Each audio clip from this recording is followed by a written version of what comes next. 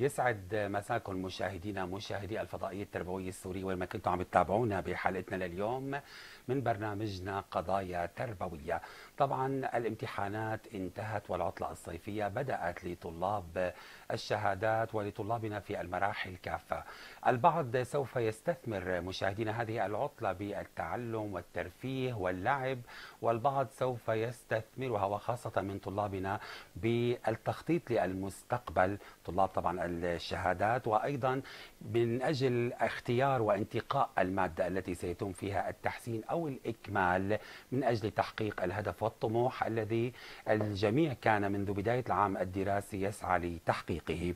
فكيف يمكن أن يكون استثمار العطلة الصيفية ناجحا؟ وكيف يمكن أن يتم انتقاء المادة إما للإكمال أو التحسين وفق أي معايير عن هذه النقاط ستكون محاور حلقة هذا الأسبوع من قضايا تربوية مشاهدينا بصحبة ضيفينا. يسرني أن أرحب بالأستاذ أحمد زين. حضرتك تنمية بشرية وتربوي. أهلا وسهلا بحضرتك. وسهلا فيك وبجميع مشاهدينا القناة التربوية السورية. أيضا الترحيب موصول مشاهدينا بالأستاذ يحيى نصر. حضرتك مدرس لمادة الكيمياء. أهلا يسعد مساك.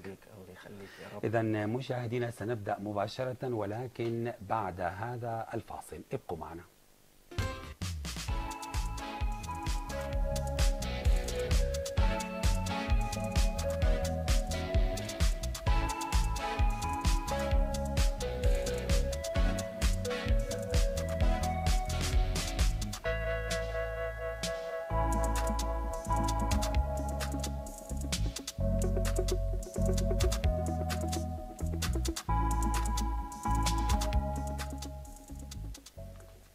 إذا مشاهدينا بمحاور حلقتنا اليوم مثل ما ذكرت بالمقدمة رح نحكي بالمحور الأول عن الدراسة الصيفية وتنظيم الوقت لننتقل إلى المحور الثاني ونتحدث فيه عن استعداد الطلاب للدورة الثانية والمعايير التي يجب أن يتقيد بها طالب الشهادة الثانوية من أجل انتقاء المادة الصح ولكي يكون الاختيار صحيحا من أجل التحسين أو الإكمال. وأيضا سوف ننتقل في المحور الثالث الحديث عن كيفية استثمار العطلة الصيفية. للمراحل الأخرى من مراحلنا التعليمية ولطلابنا في الشرائح الأخرى ما عدا طبعا طلاب الشهادات.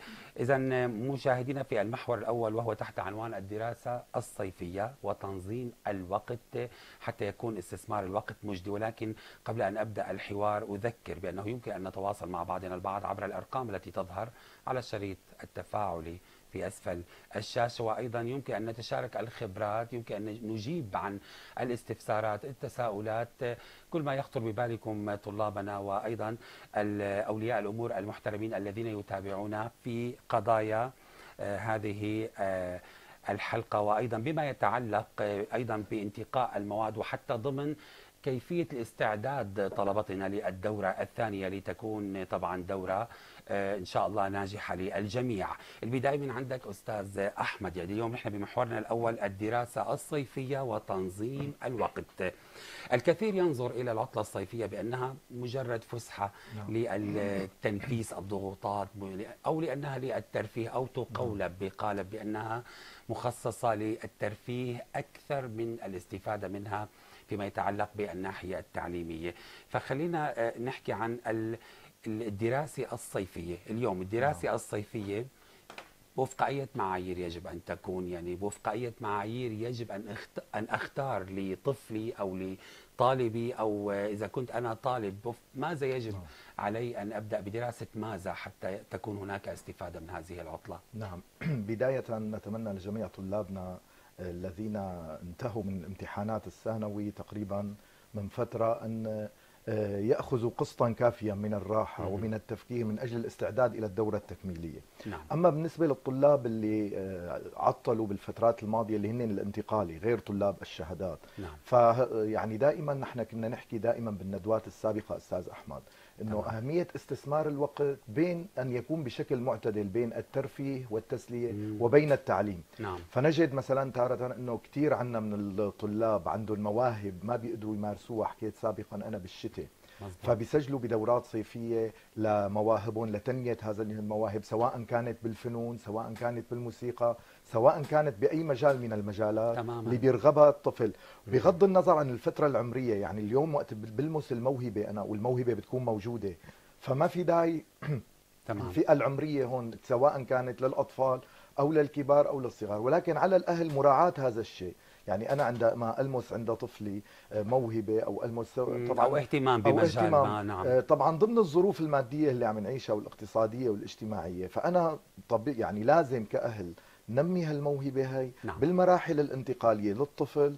نحن مرحلة الشهادات خلينا نقول إنه حنحكي فيها بعد شوي هلأ هي الاستعداد. ولكن المرحلة الانتقالية أو مرحلة الطفولة ينبغي تحقيق التوازن بالعطلة الصيفية بين استثمار الوقت للتسلية وبين استثماره بتنمية المواهب و- أو بأشياء والدراسه تعليمية. الصيفية أيضا وبين طبعاً. الدراسة الصيفية أو التحضير نعم. للفترة القادمة شو ما تمام. كانت يعني, يعني بفهم من, من. كلامك إنه عم توجه رسالة نعم. نعم. للأهالي انه يسمحوا للاطفال ويستفيدوا من كل أكيد. مرحلة بمرحلتها خلال نعم. العام ما يحرقوا مراحل لابنائهم الطلاب وإنما نعم. يسمحوا لهم يمارسوا هواياتهم يعني تكون هي كمان بنفس الوقت يعني فسحة وهيك فترة زمنية نعم. لتنفيس هاي الضغوطات عاشوها خلال العام الدراسي طيب آه، أستاذ يحيى كثير من الطلاب آه، بيكونوا هن بينظروا للدراسة الصيفية يمكن بسوية اهتمام أقل كونه عطلة صيفية تمام. وأنا بدي أدرس وبنفس الوقت في عطلة.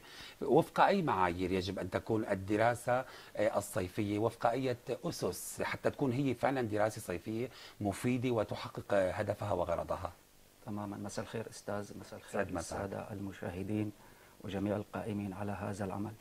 يعني بالنسبة للعطلة الصيفية هي منفس للطالب. نعم. بعد مضي ثمانية أشهر من العام الدراسي. لذلك على الطالب أن يستغل العطله الصيفيه تمام. من حيث ال- المواهب الموجودة عند الطالب. احتمال يكون عنده الطالب مواهب رياضية مواهب علمية. ليس لا. بالضرورة أن تكون مواهب فنية ليس بالضرورة أن تكون مواهب تماماً. يعني بعيدة عن منهاجنا إن صح التعبير وإنما يعني يستغل المواهب اللي هي بتمس المنهاج تماما. بشكل مباشر. في عنا بشكل عام طلاب ضعيفين لا تزعل مني بهالكلمة وطلاب وسط وطلاب هذا ممتازين شيء طبيعي. كل طالب يعني إنه ليس الطلاب كلها ما بنفس السبب لذلك صحيح. الطالب الضعيف يجب أن يستثمر العطلة الصيفية بالدورات التعليمية. طيب مين بده يوجهه اليوم؟ مين المفروض يساعده لهذا الطالب الضعيف لحتى يستثمره ويحسن مستواه التعليمي؟ وبنفس الوقت للطالب الجيد وحتى للطالب أحيانا الممتاز ولكن بضل هن في عندهم بحاجة ل- دائما حاجة يعني بتكون لو كانت حاجة مخفية لمين يوجههم بداية الأهل من ثم المدرس. الأهل موجودين مع الطالب ثلاث أرباع الوقت. يعني تمام. الطالب لازم يراقب ال- الأهل لازم تراقب الطالب يعني بشكل غير مباشر. مم. تشوف وين مواهبه تنمي المواهب يلي عنده. يعني عم نشوف الطالب بهالأيام يعني آه، يعني فترات التلهي عنده يعني كثير بشكل كبير. نعم. منها الموبايل منها شغلات تانية. لذلك بهالحالة هيدي الأهل أهم شيء الأهل. مراقبة الطالب بشكل غير مباشر. واستغلال العطل الانتصافي من خلال الدورات التعليمية. وين؟ هالطالب ضعيف بأي مادة فيزياء كيمياء رياضيات لازم يدخل دورة تعليمية. هيدي بالنسبة للطالب الضعيف. وين عنده هواية رياضية هواية أدبية هواية علمية لازم ننمي هالهواية. تماما. يعني لازم يكون في يعني توازن بين هي الهوايات. نصائح. انت انت عم تنصح مثلا تنمية الهواية تنمية ال- ال- ال- المستوى الأكاديمي من خلال دورات تعليمية مثلا. تماما. نحن مشان ما حابين نفهم حكي لأنه نحن عم نقول يعني بالإجبار أو إنه لازم يعني إنه يكون هو شرط لابد إنه يتم تحقيقه وإنما بالإجبار تعتبر هي من باب النصيحة يعني تماما نعم. يعني بالنسبة للأهل وطالب الثانوي الأهل يعتبروا ابنهم على شكل صديق يعني حلو. يكون معاملة- صديق معاملة صداقة كصداقة. معاملة آه، إجبار أو إجبار إنه أو أو إنه ب- بحيث- بلهجة الأمر تماما نعم. نشوف هالطالب وين نقاط الضعف عنده أهم شيء نشوف وين نقاط الضعف عند هذا الطالب ونعبي هالنقاط الضعف بالعطلة الصيفية. تماما. أستاذ أحمد يعني طلابنا اليوم تحديدا اللي نجحوا للتاسع وللحد وللبكالوريا طلاب الحادي عشر هن أكثر شيء معنيين أكثر من غيرهم بالدراسة الصيفية. صحيح. آه، ولو إنه في كثير طلاب يعني بيدرسوا في كل الصفوف يعني ممكن ممكن مثلا طالب صف سابع طالب الابتدائي ممكن يلجأ لدورات تقويه مثلا اللغة الإنجليزية مثلا ممكن لشيء مسار تعليمي. بيتطابق مع هوايته ممكن يكون رياضيات إلى آخره. ولكن طلابنا اليوم اللي هن السنة الجاي رح يكونوا شهادات اللي هلأ عم هن فعلا بدأوا دراسة صيفية آه، حقيقية. نحكي عن آه، آلية الدراسة آلية تعاملهم مع المنهاج. نحن كيف لازم طالبنا اللي هو سنة الجاي رح يكون بكالوريا ولا تاسع المفروض يدرس المنهاج؟ هل مطالب منه اليوم يستكشف فقط أم يدرس المنهاج بهاي الدراسة الجدية وكأنه هو الدورة الش- الشتوية أو العام الدراسي بنفس الجدية أم ماذا؟ الطالب الحادي عشر المقبل على دورات البكالوريا. أنا برأيي من الخطأ الشائع اللي صادفنا كثير بالمعاهد. أو مؤسسات بالمؤسسات تعليمية التعليمية الصيفية، نعم. الصيفية نعم للتقوية أنه كان قسم كبير من الطلاب أستاذ أحمد كان يعتبر أنه الدورة الصيفية هي فقط للمطالعة مم. يعني أنه أنا أطلع على المنهاج البكالوريا العلمي أو الأدبي أو الفرع تمام. اللي مسجله هذا من أكبر الأخطاء يعني يعني استكشافه أول شيء يعني. أول شيء هو آه، عم يدفع مبلغ عم يختلف يعني اليوم شفنا أسعار الدورات وثاني شيء يعني غير الوضع المادي الوضع إنه الطالب اللي مهيئ حاله خلال شهرين ونصف أو ثلاث شهور نعم نعم حيدخل بالشهر التاسع وقت بتبدأ المدارس حيكون مرتاح عن زملائه وعن مم. خاصة إذا تابع مع أساتذته بالفترة الصيفية تماما وعمل مراجع أو كراسات للفترة الشتوية مم. و- واستكمل كل الأخطاء أو الثغرات. من الأساتذة اللي عم يدرسوه من رفقاته اللي قدموا مطلوب بالدورة اللي مطلوب قدم منها منه نفس نعم. الجدية يتعامل معها ولا مطلوب منه ماذا يعني؟ هلأ هون سيما إنه هي فترة زمنية صحيح. قصيرة يعني هلا- شهرين أو شهرين نعم ونص هلأ أكيد. الطالب يعني ما حيقدر يغطي 60% أو 70% تمام. من المنهاج أكيد ما حيكون بلم كل كل صحيح. الثغرات من صحيح. المنهاج ما هون خاصة المناهج العلمية صح. يعني عندنا كثافة وعندنا مواد علمية كبيرة نعم. فهون يعني لازم أنا برأيي يعطي الطالب جدية فوق النسبة 60 ل 70% للمنهاج اللي مقبل عليه بالدورة نعم. سواء كان لطلاب التاسع الشهادات أو طلاب البكالوريا بس بدي أشير للشغلة نعم. والأستاذ يحيى أكيد يعني له رأي إنه هي المنهاج بشكل عام مناهجنا بشكل عام اللي وضعتها وزارة التربية من حيث الكثافة مدروسة. لتتناسب هي صحيح. مع العام الدراسي اللي هن 8 أو 9 يعني 9 شهور خلينا نقول العام الدراسي بس أو عفوا. أستاذ هلا بالنسبة رأيك لطالب يعني بس بهاي بالنسبة لطالب البكالوريا. طالب البكالوريا لازم يستغل العطلة الصيفية 100% نعم لأن من نعم. خبرتك كيف هلا في بالنسبة لل- للبكالوريا في طالب جيد طالب جيد جدا طالب ممتاز مم. طالب فوق الممتاز نعم. نحن بنحكي عن الطالب الجيد جدا بدنا نحكي ونشتغل على الطالب الجيد جدا الطالب الجيد جدا لازم يستغل الصيفية 100% ليش لأن منهاج البكالوريا سهل ولكن ضخم مم. إذا ما بلش بالمنهاج من الصيف لا. تواخذني ما بيلحق تماما إيه، عم المنهاج. إنه هو سهل ولكن في كم كم. معناتها قد إيه مهم تنظيم الوقت تنظيم عم نحكي الوقت كمان ضمن الدراسه الصيفيه. تنظيم, تنظيم الوقت الوقت من مم. يوم ببداية العام الدراسي نعم تنظيم الوقت ولكن الآن بالصيف كيف ممكن الطالب ينظم وقته يلي هو عم يحضر للتاسع وللبكالوريا خلال لازم الصيف الطالب عفوا يوضع استراتيجية خطة مناسبة يعني يسلك الطريق الصح مم. بحيث إنه مثلا حتى يعرف إنه شغله صح ما ينام تمام. وعنده درس محافظه مثلا إن كان بالصيف ولا بالشتوية. نعم. ليش؟ مهمة المدرس يفهم الطالب مو مهمة المدرس يحفظ عن الطالب. يعني الطالب حتى يتفوق ثلاث شغلات يفهم يحفظ يشتغل بإيده بالقلم والورقة. نعم. حتى تتثبت المعلومة بذهنه وما ينسى. تماما.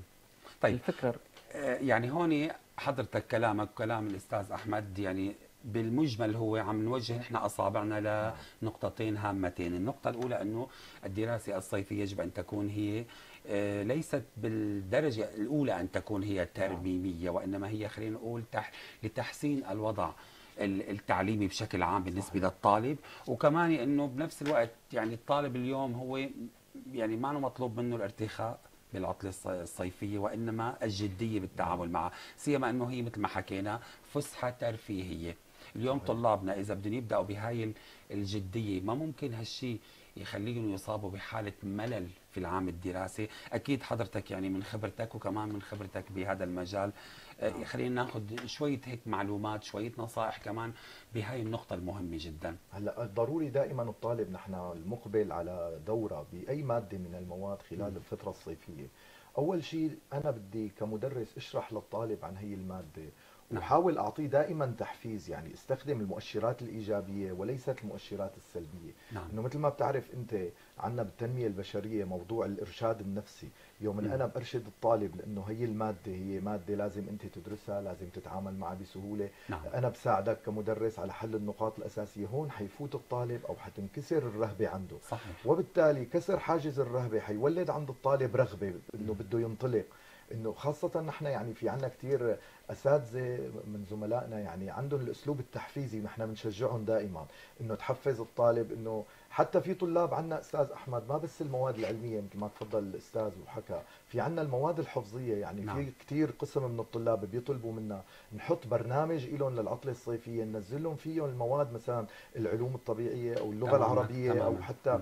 المواد الأخرى هون آه، أنا برأيي موضوع الملل وجود الملل وعدمه نعم. هو من الأسلوب التحفيزي اللي بيمارسه الأستاذ بالدورة اللي عم يعطيها للطالب اثنين موضوع الأهل يعني نعم. الأهل دائما لا يضغطوا على الطالب إنه نحن بدنا منك وأنا حكيت بندوة سابقة هالمعدل هذا. لازم ياخذوا بعين الاعتبار مستوى ابنهم التعليمي فما. في أهل ما بيعرفوا إلا مستوى أكيد. ابنهم التعليمي والأستاذ اللي الطالب عم يمشي معه سنة ورا سنة عم يدرسه إياها أكيد بيعرف مستوى التعليمي لطلابه أكيد. وبيأثر فيه ايجابيا تماما للطالب. لذلك نحن بنلاقي في قسم كثير من الطلاب بعد التاسع مثلا بيلاقي ميوله أدبية نعم. فبيسأل الأساتذة الأساتذة هون المفروض يختبروا الطالب هل ميوله أدبية بالمواد الحفظية ولا ميوله علمية نعم فلازم يحدد الطالب هون من شان ما يصل للحلقة الأخيرة اللي هي البكالوريا ويحس الطالب بالثالث الثانوي سواء تماماً. كان تجاري أو علمي بالفشل نعم. فأنا برأيي هي مرحلة مفصلية بعد التاسع أيضا أستاذ أحمد هي آه، مثل آه، وضع سبر من الأساتذة تبع تقييم المرحلة، أو تقييم المرحلة المرحلة هل هو نعم. للمراحل العلمية أم. للمراحل التجارية وأخذ بعين الاعتبار أيضا رغبة الطالب نعم لأنه رغبة الطالب يوم بيكون برغبة أكيد رح يبدع فيها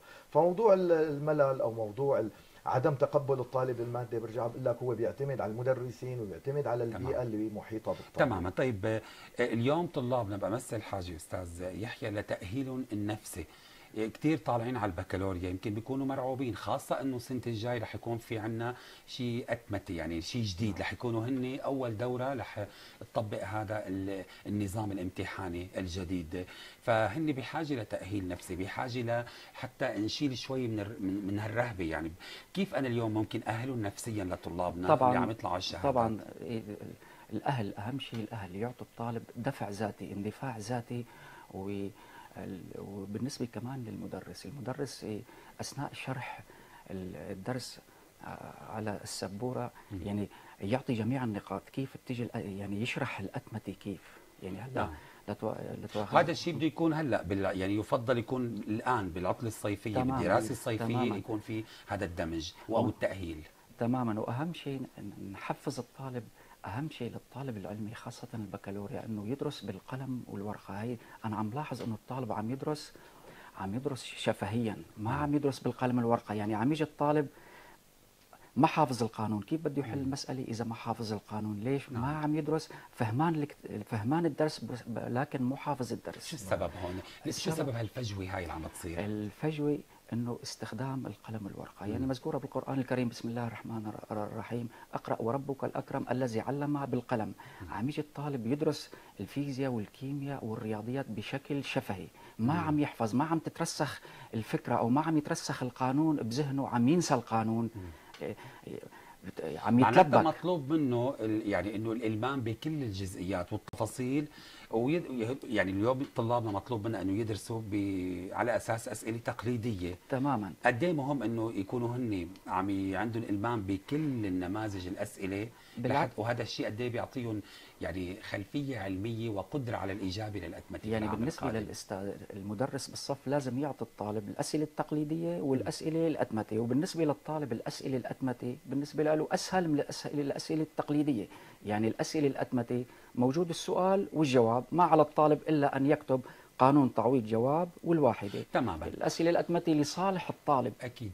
ذكرت إنه لابد من استخدام الورقة والقلم. والقلم هلا هذا الشيء يمكن له أكيد أثر كبير على المواد العلمية يعني بنشوف- حتى المواد الأدبية نعم. يعني أيوة. كمان المواد الأدبية يعني عفوا بحاجة بنشوف طلاب بطيئين تفعيل أكثر من حاسة بطيء يعني. بطيئين يعني مم. بطيئين بال بالحل ليش بطيئين بالحل ما عم يستخدموا ما عم يدرسوا بالقلم والورقة يعني بال- اثناء ال- ال- الامتحانات المراقبة بالامتحانات. عم نشوف الطالب عم ينتهي الوقت المخصص للمادة ولا خلص حل بحاجة تمرين أكثر الطالب- ومهارة. مهارة. الطالب بطيء. ليش. الطالب بيكون بطيء؟ ما عم يدرس.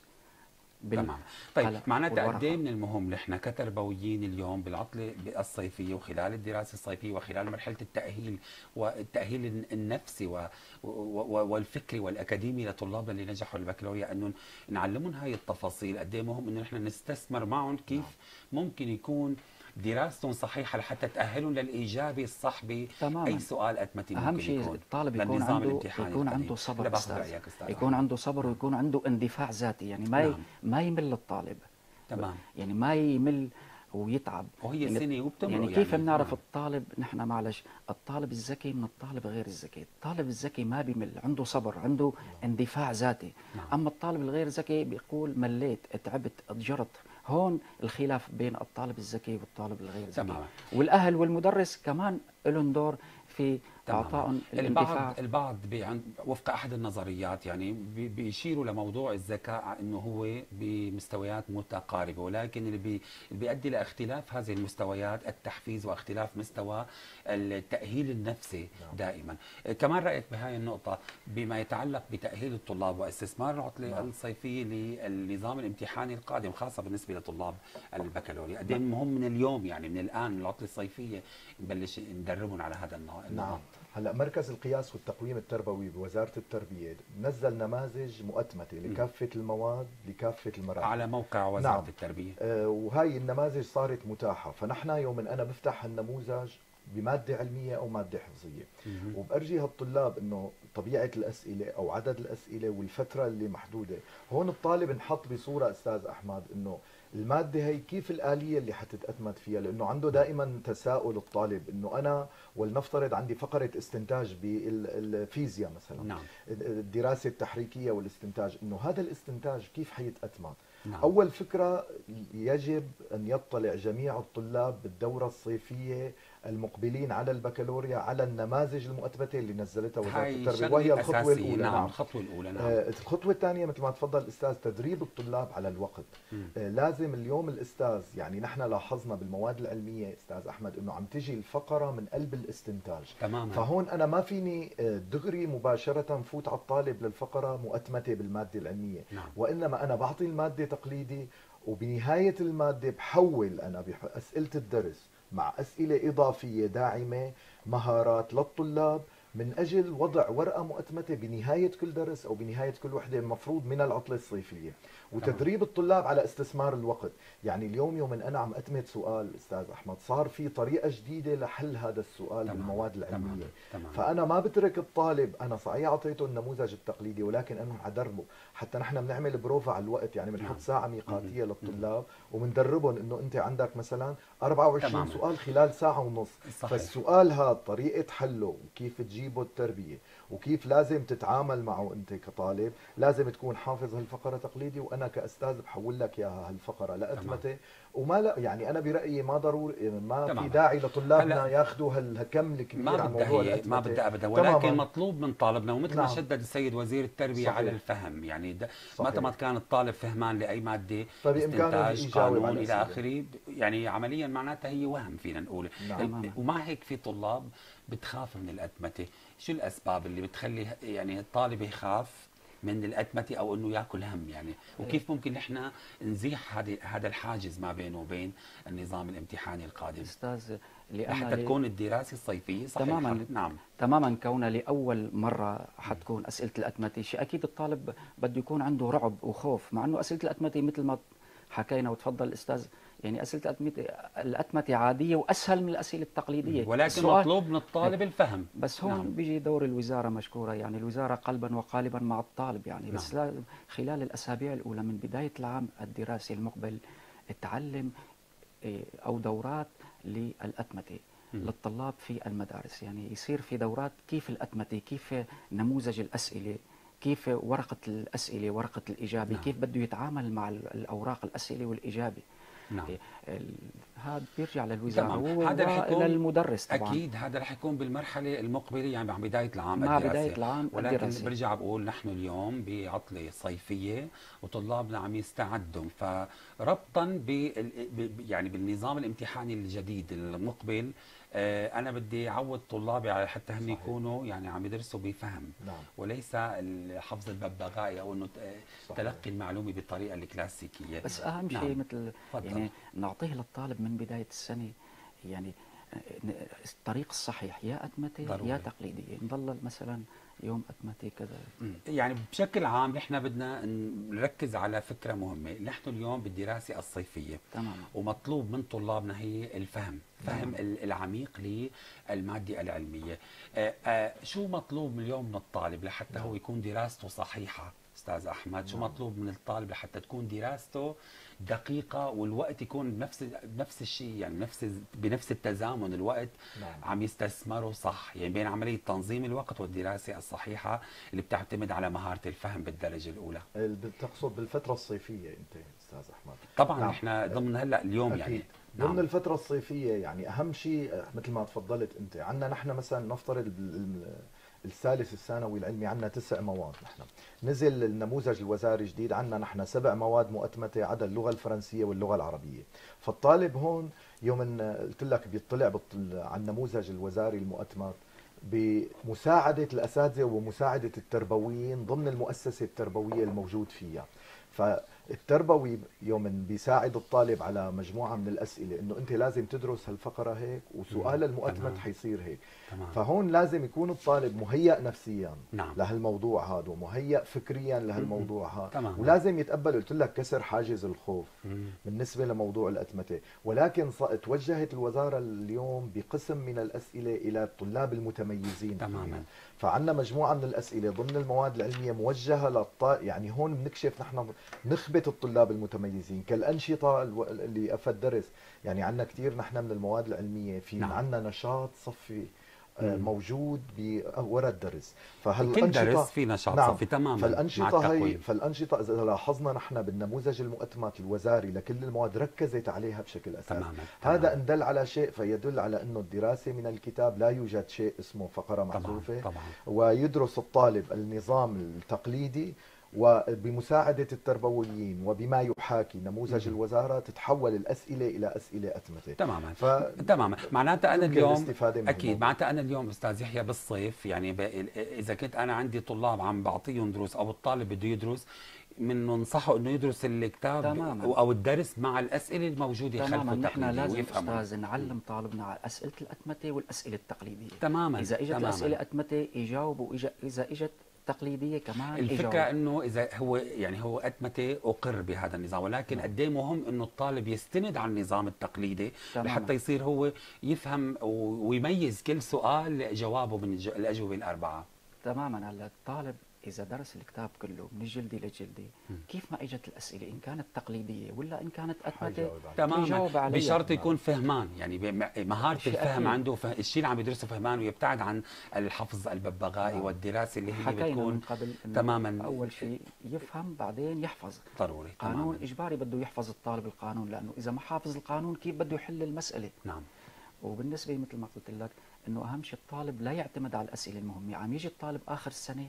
عم يعتمد على الأسئلة المهمة تماماً. فقط لا غير تماما طيب بنهاية المحور الأول الدراسة الصيفية وتنظيم الوقت آه، خلينا نوجه كلمة أخيرة لننتقل للمحور الثاني من حضرتك لطلابنا تنظيم الوقت من بداية السنة ووضع برامج.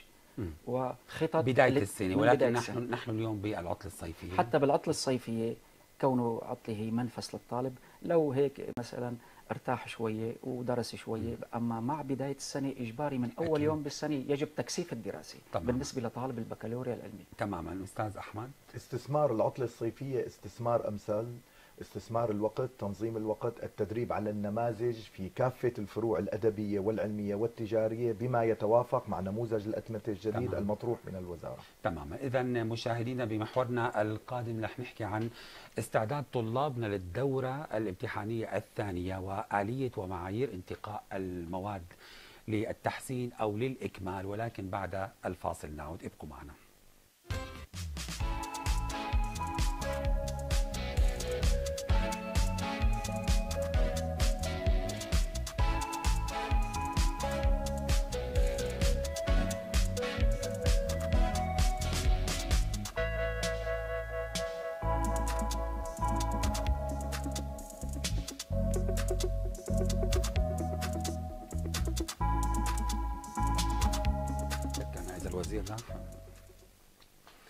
اذا في محورنا رح نحكي مشاهدينا عن استعداد طلابنا للدورة الثانية. آه، أستاذ أحمد طلابنا اليوم في منهم رغبة ما بين الإكمال والتحسين وفي منه ممكن تتعدل هاي الرغبة بناء على النتائج اللي بدها تظهر. ولكن في طلاب هن حسموا أمر أنه بده في مواد ممكن يحسن فيها وفي مواد ممكن يأكمل فيها.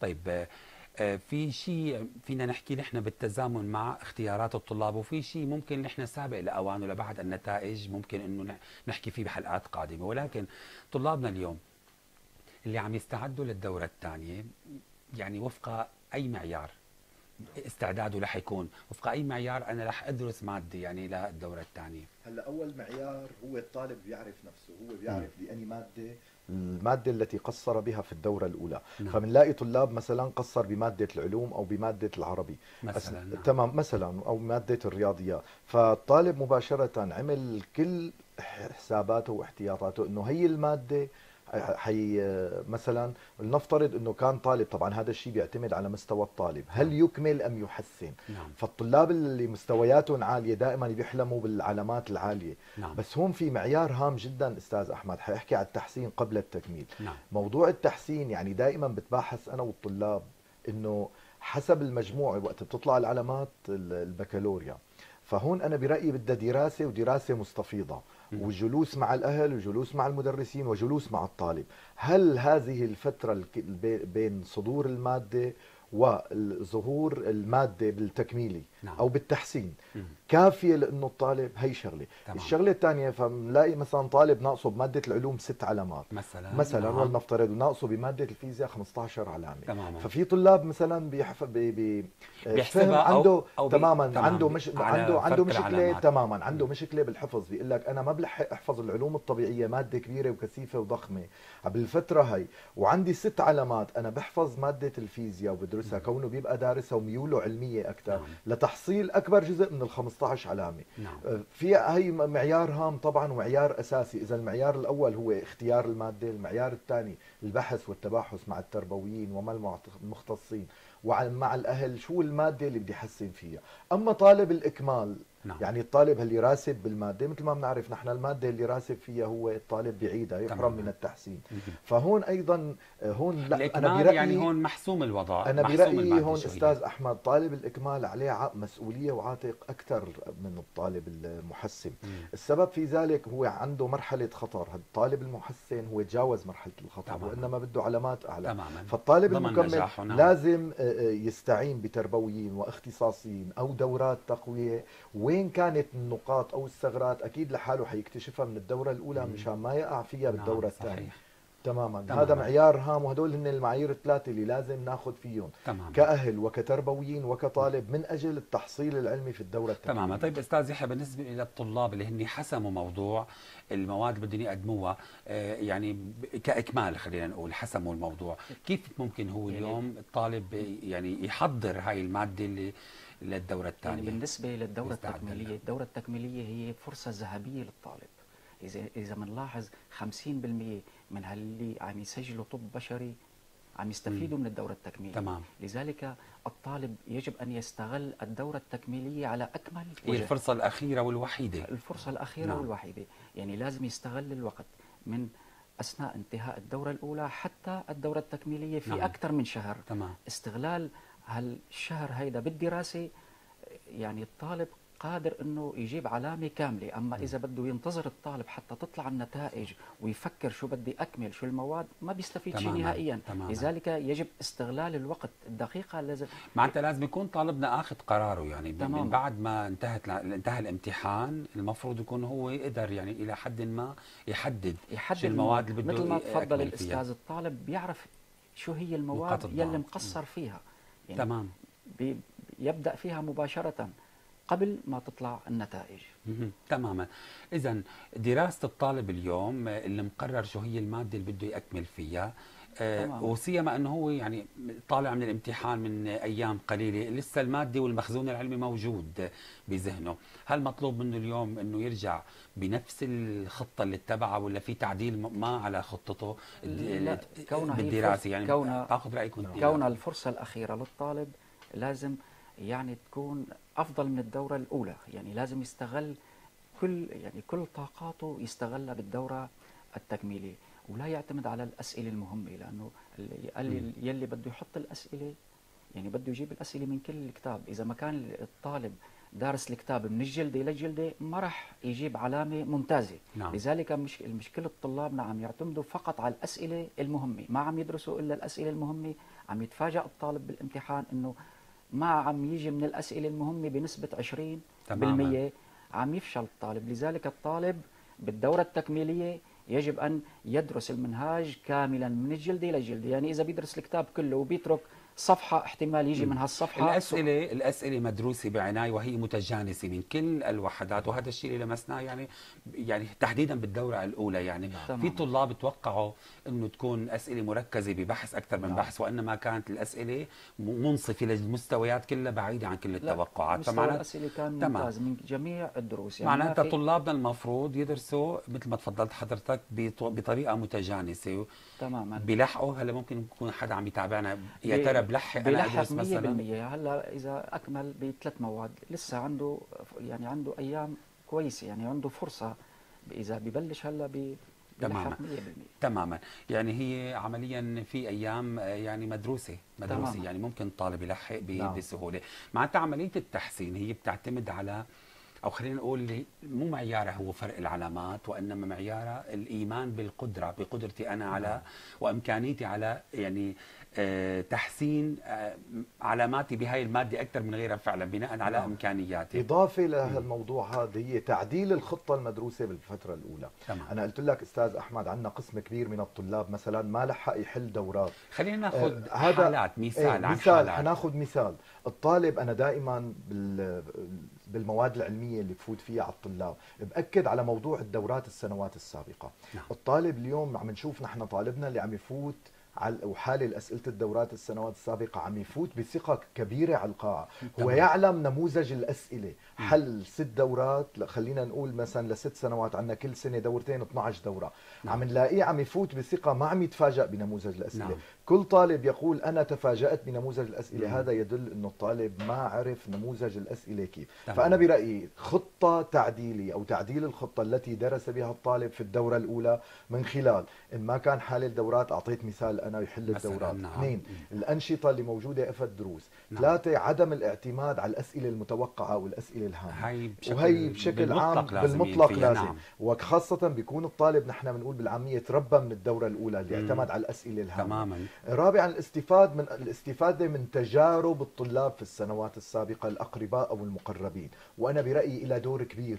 فأنا يوم بسأل طالب قدم السنة الماضية تكميلي إنه كيف درست حتى ما صابك الملل أنت بنستفيد من اخطائه بستفيد من. اخطائه يعني تمام. بتعرف أنت فترة الصيف وفترة الجو وفترة الشو فبصير نوع من الملل وخاصة صحيح. الطالب عم يعيد المادة نفسها بفترة بسيطة مهم. فهالاربع نقاط الأساسية بالإضافة إلى العزيمة والتصميم مثل ما تفضلت هن عم نشوفهم المفاتيح الأساسية لأنه تماماً. الطالب يحصل بالدورة التكميليه تمام أستاذ يحيى كثير من الطلاب بدها تتعرض الآن لموجات تشويش كثير عبر مواقع التواصل الاجتماعي بما فيها آه، التوقعات وبما فيها يعني كل أستاذ بده ينزل على صفحته نماذج بيقول إنه هاي نموذج مهم جدا إنه بحيث إنه من باب الدعاية والإعلان أكثر شيء بتميل يعني هي وبتاخذ هذا آه، المسار أكثر آه، طلابنا كيف فينا نح- كيف في يحمي الطالب نفسه من هذا التيار التشويشي يعني ضمن من مواقع التواصل الافضل من الاجتماعي؟ الأفضل أن يبتعد الطالب عن التوقعات. أي طالب بده يشتغل على التوقعات بده يفشل. يعني بصراحة مثل ما حكى الأستاذ أحمد يعني تماما يعتمد على الكتاب. الأستاذ يعتمد على الكتاب. كل شيء موجود بالكتاب يدرسه. طالما الطالب درس كل شيء موجود بالكتاب معناها كيف ما إجت الأسئلة امن العلامة 100% أما التوقعات والجلسات الامتحانية يعني الجلسات الامتحانية مضيعة للوقت بيروح الطالب قبل المادة بيقعد ساعة ساعتين بالجلسة الامتحانية. ضاع الوقت ورجع على البيت حتى تعبان. مسافه الروحه والرجعه يعني رجع يضاف تعبان ساعتين يعني أقل شيء. ما لحق راجع المادة. بيروح ثاني يوم على الامتحان ما عم يتذكر شيء. ليش؟ لأنه ما لحق راجع وتشوش كمان يعني وتشوش. نعم. وكل أستاذ بيعطيه بطريقة شكل. بيروح على هاد معهد هاد معهد. كل أستاذ عم يعطيه بطريقة شكل. بيجيب من هون توقعات من هون مم. توقعات من هون توقعات. تشوش الطالب. معناتها بتنصح طلابنا بما إنه الم- المخزون العلمي لسه موجود يعني ما حلهم ينسوه يعني والذاكرة بعدها طويلة الأمد شغالة. يعزلوا نفسهم مثلا شو بتنصحهم بالضبط؟ كيف يهيئوا جو الدراسة والتركيز؟ الدراسة على إذا الطالب حس حاله مقصر شوي يدرس على الموجة السريعة. مم. يعني الموجة شو؟ السريعة. إذا حس حاله ملحق يدرس على الموجة البطيئة بالقلم تمام. والورقة. نعم. بس في طلاب مثل ما قلت لك آه، بيحسوا حالهم ملحقين لذلك ب- بيفقدوا ثقتهم شوي شوي. بنفسهم تمام. ويكون عنده اندفاع ذاتي. أهم شيء بالنسبة للطالب الاندفاع الذاتي والصبر آه، تماما هلا نفسية الطالب بالدورة الثانية بتكون مختلفة عن الدورة الأولى. يعني أول شيء هني فاتوا امتحان كسروا رهبه الامتحان صحيح. وهذا الشيء كيف أنا ممكن استغله لحتى يكون دافع آه، آه، يخلق حماس أكثر يعني بال- بالطالب ولحتى كمان يعني يفوت فعلا بكل ثقة وبالتالي ترتفع سوية ثقته بنفسه لتكون فعلا الدوره الثانية وإجابته بالدورة الثانية تكون نعم. مدروسة أكثر أكيد لازم تكون الدورة الثانية مميزة عن الدورة الأولى مم. بعدة أمور الأمور النفسية كسر حاجز الخوف الدورة الأولى التعود الطالب على جو الامتحان اثنين موضوع تنظيم الوقت يعني عندنا طلاب مثلا بالدورة الأولى روح وقته بالتفكير على سؤال محدد علمي. فبالدورة الثانية أكيد ما حيروح وقته إذا في سؤال. ما عرفه موضوع أيضا موضوع ثقة الأهل وضع الأهل موضوع التصميم نعم إني أنا داخل بالدورة الثانية أنا مصمم على مجموع خلص أنا نعم. بدي هذا المجموع آه، إضافة للعمل بالنقاط الأربعة الأساسية اللي ومفاتيح النجاح تمام. اللي ذكرتها حيولد هذا عند الطالب رغبة أو اندفاع شخصي إنه أنا لازم أقدم تماماً. تكميلي وأنا قد هذا الحمل بالتكميلي إحنا فينا نضيف شغله ترب. يعني مثل ما تربى من أخطاء الد- الدورة تعلم تعلم أو تعلم تماما نعم. تعلم بس فينا نضيف شغله اللي إحنا كمان آه يعني قد من المهم طالبنا يكون عنده إدراك إنه أسئلة الدورة الثانية كان نعم. ببساطة ممكن تكون هي الدورة الأولى نعم. لأنه دائما هي معتمدة نفس المعايير الامتحانية نفس صحيح نفس ال- يعني نفس النمط الامتحان نفس الهيكلية الامتحانية فإذا طالبنا قدر يحل الدورة الثانية فمم يعني الموضوع معناتها سهل جدا تماماً، هو فقط نعم. بيعتمد على تركيز بسيط صحيح. بيعتمد على دراسة بفهم مثل ما تفضل تفضل. يحل دورات يعني أهم شيء بالطالب يحل الدورات الدورات الوزارية مم. مو دورات بمعهد كذا معهد تجارية تجارية تجارية إنما نعم. الوزارية نحن نعم عم نشوف صحيح. دورات آه، عم يوضعوها بعض المعاهد. فيها طلبات من خارج الكتاب. عم يجي الطالب يحل هالمسألة. تعتبر من التشويشات اللي عم تشويش نحكي يعني عم عنها يجي تمام. الطالب طالب ذكي وفهمان الكتاب كله عم يحل دوره ما عم يعرف يحل هالمسألة. ليش؟ لأنه فيها طلب من خارج الكتاب. مم. بعض آه، المعاهد عم تتصرف هيك تصرف لجذب الطلاب إلى المعهد. نرجع لذلك نحن أهم شيء الطالب يدرس اسئله الدورات الوزارية أكيد. فقط أكيد لا. يبتعد عن التشويشات, تشويشات، بما فيها هاي نعم. التشويشات اللي بنسميها نحن تشويشات تجارية بحتة عم تستغل الحالة النفسية للطالب وخوفه وتوتره وبالتالي مثل ما تفضلت بوسيلة ما- عم تجذبه عم باتجاه هاي. تماما. آه، طلابنا يمكن اليوم يكونوا في عندهم البعض حالة نفسية هي خوف نعم. توتر قلق إلى آخره رغم إنه الامتحان الدورة الأولى انتهى والدورة. الثانية لسه في وقت يعني. نعم. آه، كيف ممكن نخلص طالبنا اليوم من القلق والتوتر اللي عم يستعد للدورة الثانية. أول شيء الطالب من وقت بده ينوي دراسة أستاذ أحمد بده يحط برنامج يقسم عدد الأيام لحين الامتحان الدورة التكميلية. نفترض حتى هذا الشيء مثل ما تفضل الأستاذ مثلا في بعض الطلاب بيستنى العلامات لتطلع وفي البعض لا بيعرف هو المادة اللي قدم فيها فبيبلش من وقت انتهاء نعم. الامتحانات لهي المادة. فأنا برأيي وضع خطة دراسية مقسمة إلى أي- أيام. مم. بهي الأيام برجع بقسم الأبحاث تبع المادة مع دوراتها كاملة بخطة مدروسة هون بيولد عند الطالب طمأنينة داخلية، الطالب الضايع دائما نحن اللي ما عنده ثقة بنفسه هو الطالب اللي ما حط خطة تدريسية أو ما خطط وقته، فبيقول لك أنا بلحق ولا ما نعم. بلحق،. دائما بيسألونا مم. هذا السؤال الطلاب هل أنا بلحق أستاذ بالدورة التكميلية حصل المجموعة. طيب على أنه أساس حضرتك عم تستند هل على دورة الدورة الأولى أو ما قدمته أم على خطة تدريسية؟ نعم. فأنا برأيي مساعدة التربويين أو الأساتذة الاختصاصيين بوضع خطة بتقسيم المواد التي يريد أن يكمل بها الطالب مع أبحاثها كاملة ومع دوراتها. أكيد. فأنا يوم محدد أنا عندي بهذا اليوم هالبحثين بدي أدرسهم؟ أنا يوم خلصت هالبحثين خلص أنا مرتاح صحيح. نفسيا أني أنا أديت الجزء الأساسي عندي اليوم بهالمادة تماماً. وهذا بيولد تماماً. والعكس صحيح عدم أكيد. وجود ح- خطة دراسية سيولد عدم طمأنينة وسيولد توتر وأحيانا في حالات يحجم الطالب عن الامتحان التكميلي ويقرر الإعادة. وجانا كثير حالات منها تماما يعني بالنهاية آه، مواد ال- الدورة الثانية حتكون بالنسبة للطالب قليلة يعني نعم. ثلاث مواد على الأكثر على الأكثر نعم. وفترة زمنية كافية يعني ما في داعي للطالب أبدا يخاف أو صحيح. يتوتر بشكل عام آه، يعني هون كمان نحن بنرجع بنقول إنه الطالب بحاجة إلى عملية دفع معنوي بالدرجة الأولى. تماما من قبل المدرس من قبل الأهل الأهل بيعطوا الطالب دفع معنوي مثل ما تفضل الأستاذ ويكون الطالب عنده اندفاع ذاتي. أهم شيء يعني الطالب ليش بيتوتر؟ ليش بيخاف الطالب؟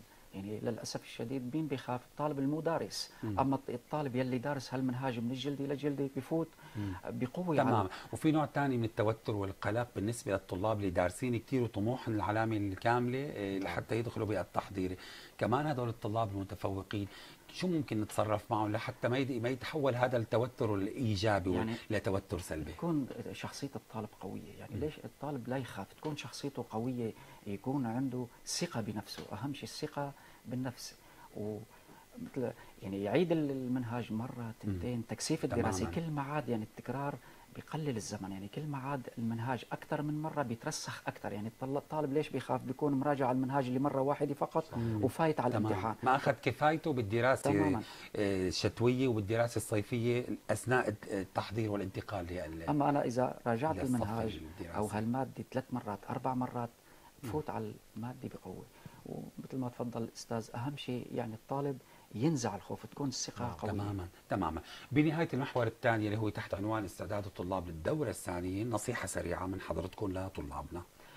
التكثيف الدراسي أهم شيء تكثيف الدراسي بشكل يعني 100% تمام. لأن إذا ما كثف الدراسي إذا فهمان الطالب هل المادة ولو حافظة ما استفدنا شيء نهائيا. لابد إنه والحفظ يأتي من تكثيف الدراسة. تماما الاستاذ أحمد. تعديل الخطة الدراسية التي قام بها الطالب في الدورة الأولى والاستفادة من الثغرات التي عانى منها الطالب أكيد حيكونوا سببين أساسيين لنجاحه في الدورة التكميلية. تماما. اذا فاصل وبنرجع للمحور الأخير مشاهدينا اللي هو بعنوان كيفية استثمار العطلة الصيفية بالنسبة لطلابنا بكل المستويات. نعود.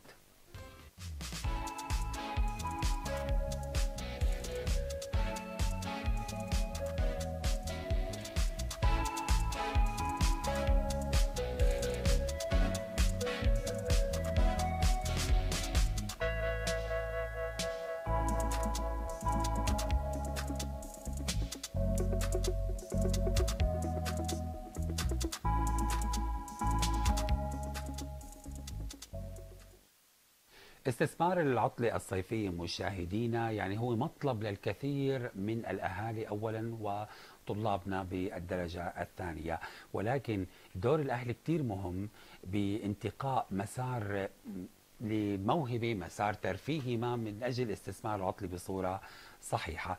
آه، بنبدأ مباشرة بالحديث عن دور الأهل. شو رأيك أستاذ أحمد؟ نحكي عن دور الأهل أول شيء باستثمار العطلة الصيفية. دائما البيئة المحيطة بالطفل أو بالطالب أول بيئة بندرسها بيئة محيطة تدريسيا هي بيئة الأهل نعم. هي البيئة المحفزة وهي البيئة المشجعة للطالب نعم. على ممارسة النشاط الذي يهواه منذ صغره من أجل تحقيق طموح في كبره تمام هاي ال- الرغبة الموجودة عند الطالب أو عند الطفل طبعا بالأهل هن اللي بيلتمسوها وهن اللي بيهيئوها عند الطالب نعم هي بالنسبة للفترات الصغيرة مم. بالنسبة لفترات تقدم الطالب أو البكالوريا مم. سواء الطالب المقبل على الب... على الامتحانات في العام القادم أو سواء الطالب نعم. الذي سيكمل الآن نعم. آه الأهل دور محفز ودور مشجع ودور أساسي أنا برأيي تمام. وأنا حكيت دائما بالندوات السابقة لا تحملوا الأهل لا تحمل الطالب مستوى غير فوق المستوى اللي, اللي بيعرفوه يعني ما. في أهل ما تماماً. بيعرفوا مستوى ابنهم صحيح. فاليوم نحن بنعرف أستاذ أحمد إنه حلم الطلاب دائما هي السنة الطبية التحضيرية أو الهندسة المعلوماتية الآن هن. أكثر فرعين بياخذوا. علامات بالفروع العلمية مم. فأنا بقول له للطالب أو للابن خلص أنت بتساوي اللي عليك تمام بعض الاهالي تماما بعض الأهالي. اللي بيكونوا هن عم يضغطوا أو عم نعم. يفرضوا شيء آه، مسار معين لأبنائهم يمكن هن بيكونوا مفكرينه نوع من أنواع التحفيز نعم. وهذا الشيء برأيك أنت بتشوفه غلط ولا صح طبعا غلط أستاذ أحمد أنا قلت لك إنه اليوم اليوم أكثر ناس بيعرفوا مستوى الطالب هن الأهل طبعا هن بال بالاستعانة بدراسته بالبيت وأكيد من خلال العلامات اللي حصلها خلال سنواته يعني تماماً. ما معقولة من غير المنطق إنه طالب وصل لمرحلة الثالث الثانوي بكافة. اختصاصاته إنه الأهل ما بيعرفوا مستوى الطالب تمام. هذا شيء مستحيل فالأهل كونه عم نحكي عن دور الأهل الأهل لهم دور كبير وأساسي بهذا الموضوع عدم تماماً. عدم مقارنة الطالب بأقرانه أو. أقاربه أو تمام، أصدقائه تمام. اليوم عم يولد طبعا عم يولد أستاذ سألتني وأنا حجاوبك عم يولد أثر سلبي كبير لدرجة إنه عم يولد كره إنه أنا ونفور. اليوم نعم أنا في في قسم كبير من الطلاب اليوم بحب الفروع المهنية مم. أنا عم أجبره أو عم أخسره يفوت بفرع آه، علمي بحت نعم. فهذا الطالب ممكن يسايرني أنا وممكن يسجل على المفاضله ولكن النتيجة تماماً. النهائية هي الفشل إذا مطلوب. عدم ضغط الأهل على الطالب تشجيع الطالب. وضعه ببيئة نفسية إنه تمام. انت شو بتدرس على أساسهم بتجمع معناتها مطلوب من الأهل بالدرجة الأولى نعم. يعني احتواء الطالب صحيح. الابن خلينا نقول ابنه نعم. أو احتوائه اهتمام الاهتمام نعم آه، تفهم رغباته صحيح. بالدرجة الأولى لحتى بالنهاية يكون حتى هذا الشيء قد إيه بينعكس على العلاقه التربوية ما بين الأهل وابنائهم أستاذ آه، آه، مثل ما. تفضل الأستاذ ما في طالب إلا عنده موهبة. مم. والأهل هن بيكتشفوا هيدي الموهبة ولازم ينموا له هيدي الموهبة من خلال معاهد. احتمال يكون عنده موهبة أدبية موهبة علمية موهبة حتى في رياضية، نوادي صيفية نوادي كمان صيفية. تماما. لذلك نحن بننمي هالموهبة إن كانت رياضية أم أدبية أم آه، علمية. طيب نحكي عن الشرائح العمرية بما إنه عم نحكي عن الاستثمار العطيه الصيفية يعني نبدأ بالشريحة الأصغر يعني طلابنا بالابتدائي يعني مثلا. بالنسبة العلم في الصغر كالنقش على الحجر. مم. بال- ال- الابتدائي أو بالإعدادي تنمية الموهبة أفضل من إنه ننمي له إياها بال- بالثانوي أو مم. بالإعدادي. يعني تماما. بدنا نشوف هالطالب شو بيحب شو يعني شو هوايته الأساسية خاصة الط- الطالب الابتدائي. يعني كثير طلاب مثل ما آه، قلت لك إنه ما في طالب ما عنده هواية. تماما. تماما. لما أنا بكون عم بستثمر العطلة الصيفية بصورته بصورة صحيحة أيوه. آه هذا الشيء إمتى ممكن هو يفقدها معناها كعطلة؟ وإمتى ممكن يكون؟ لا بالعكس بيغنيها ك كمفهوم يعني مفهوم العطلة. يعني ال- إذا استفاد من العطلة الصيفية أهم شيء الطالب يستفيد من العطلة الصيفية. وحتى يستفيد من العطلة الصيفية الدور الأكبر مثل ما تفضل الأستاذ هن الأهل. نعم. يعني هلا مثلا يعني ما فينا بنجبره لطالب على شيء معين. إن كان صغير ام كبير مثلا طالب عاشر ما بده يروح أدبي نتركه أدبي. بده يروح علمي مثل ما بده. تمام.